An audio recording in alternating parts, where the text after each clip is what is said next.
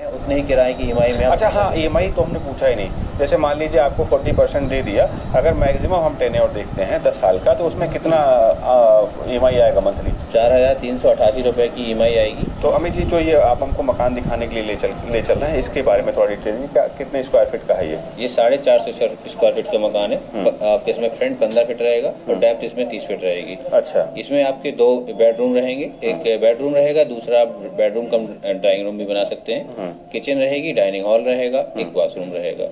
अच्छा। ऊपर आप देख सकते हैं हम्म। ऊपर दिया हुआ है फुल कवर्ड एरिया रहेगा सीढ़ियों पर। हम्म। तो सिक्योरिटी पर्पज से भी आपके मकान में कोई दिक्कत नहीं सामने आप नालियाँ देख सकते हैं। हम्म। ये अम्यूनिटीज में ये आप नाली देखेंगे तो नाली है।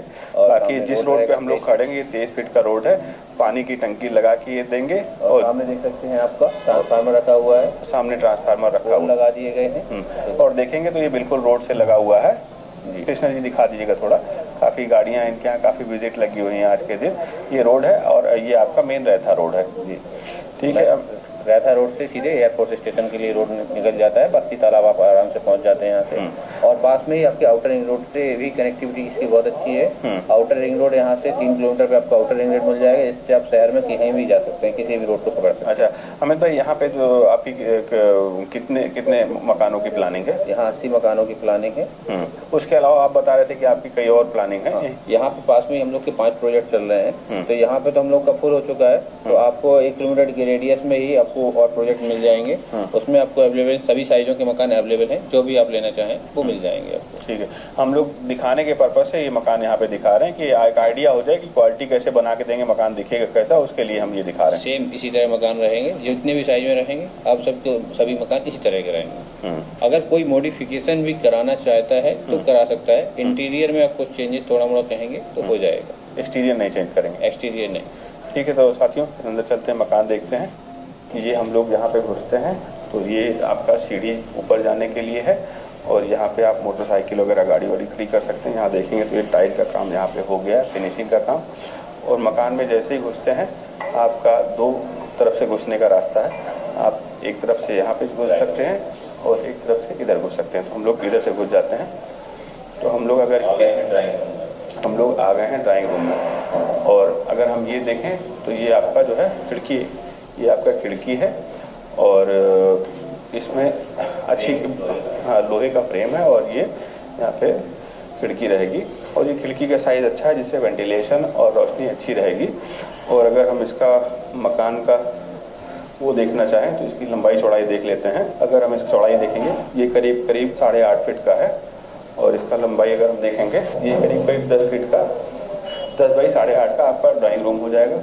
और इसमें देखेंगे तो फिनिशिंग का काम सारा हो चुका है पेंटिंग वगैरह हो चुकी है, पुट्टी वगैरह हो चुकी है और आपका तार वगैरह पड़े हुए हैं और ये तार वगैरह देखेंगे तो मोटे हैं, कंपनी नहीं समझ आ रही बट ये मोटे हैं तार। पतले वाले नहीं है, बिल्कुल कि आदमी पतले वाले रहें अब अंदर हम लोग घुसेंगे तो ये आपका जो है ओपन किचन है और काफ़ी अच्छा खासा यहाँ पे इसकी लंबाई अच्छी खासी है। अगर इसका हम देखेंगे लंबाई तो इसे देख लेंगे। ये भी ये करीब करीब आठ फीट है और आराम से यहाँ पे आप टहल टहल के खाना बना सकती हैं जो भी हमारी महिला साथी हैं। और हम लोग इधर आएँगे तो ये आपका बेडरूम हो जाएगा। इधर हम लोग देखेंगे तो इसका अगर लंबाई चौड़ाई देखेंगे तो इसका ये 9.7 दिखा रहा है। करीब करीब तो 10 मान लो और ये 10.24 दिखा रहा है तो करीब करीब नौ बाई दस का ये आपका कमरा रहेगा, उससे ज़्यादा का ही रहेगा। यहाँ पे आएँगे तो ये आपको वॉशरूम मिल जाएगा, और इसमें काफ़ी बड़ा है वॉशरूम भी आपका। और ये देखेंगे तो यहाँ पे आप डाइनिंग का अपना कर सकते हैं। अब चूँकि ये साढ़े चार सौ स्क्वायर फीट का मकान है, उस हिसाब से इसका लेआउट मुझे काफ़ी पसंद आ रहा है।